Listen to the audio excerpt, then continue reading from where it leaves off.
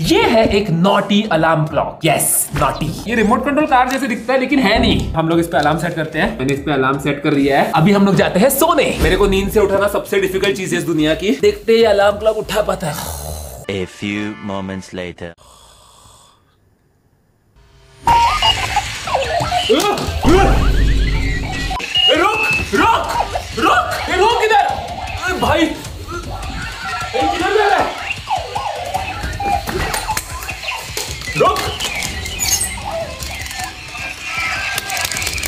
यार, इतनी अच्छी नींद आई थी। ये अलार्म क्लॉक ये भाई, ऐसा कैसे कैसे अलार्म क्लॉक्स आने लगे यार? सोने भी नहीं देते। नींद में पकड़ा पकड़े खेलने लगा ये। मेरे को बहुत नींद आई है, मैं वापस सोने जा रहा हूँ। लेकिन ऐसे और खतरनाक टेक प्रोडक्ट्स के लिए सब्सक्राइब